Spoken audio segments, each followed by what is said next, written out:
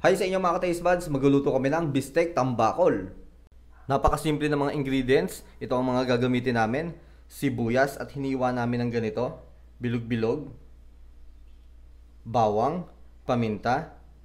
Kalamansi. Pinigal na namin ito at tinanggalan ng seeds. At ito naman yung isdang tambakol na gagamitin namin. At toyo. Hindi na natin ito i-marinate.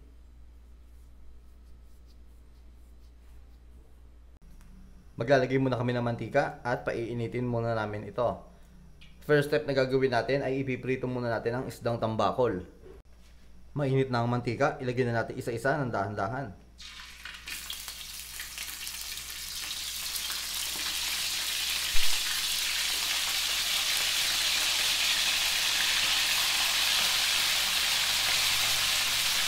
Hayaan muna natin na maprito ito.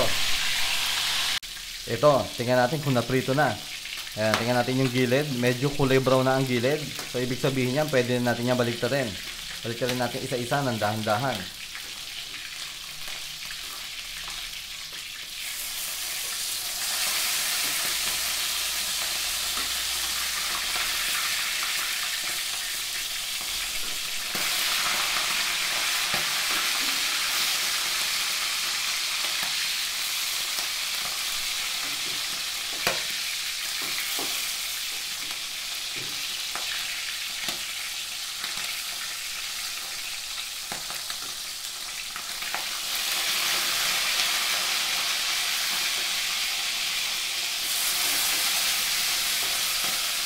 Hayaan naman nating maluto ang kabilang parte nito.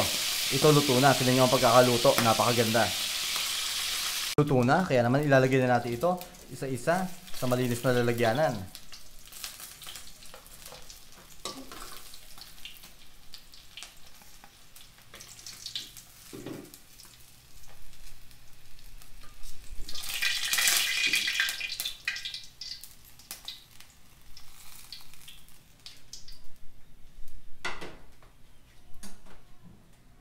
Same na mantika pa din ang gagamitin namin. Magigisa na tayo ngayon.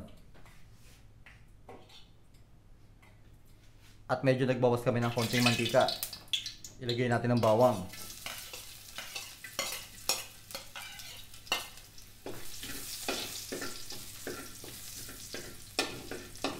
Hayaan natin na medyo mag golden brown ang kulay nito.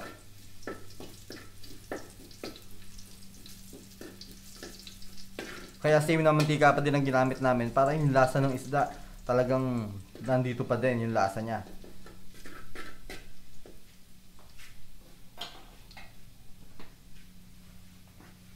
And then maglalagay na tayo ng toyo.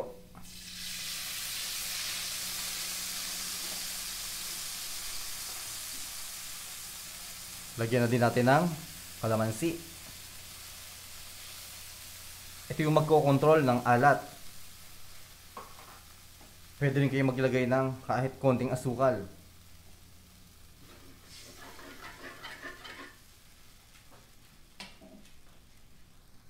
Kumukulo na. Ngayon naman ay maglalagay na kami ng paminta.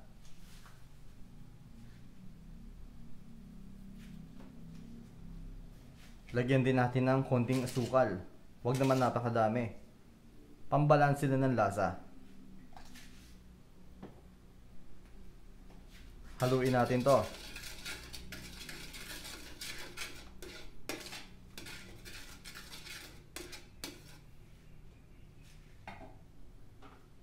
Lagyan natin ng konting tubig. Konti lang, wag madami.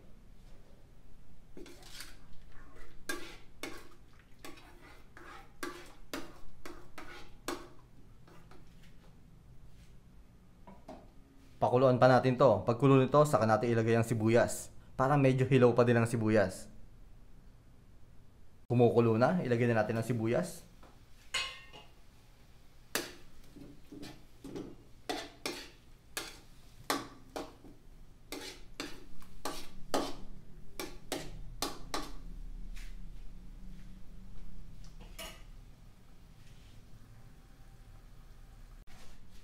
Luto na. Napakasimple at napakasarap na ulam para sa pananghalian.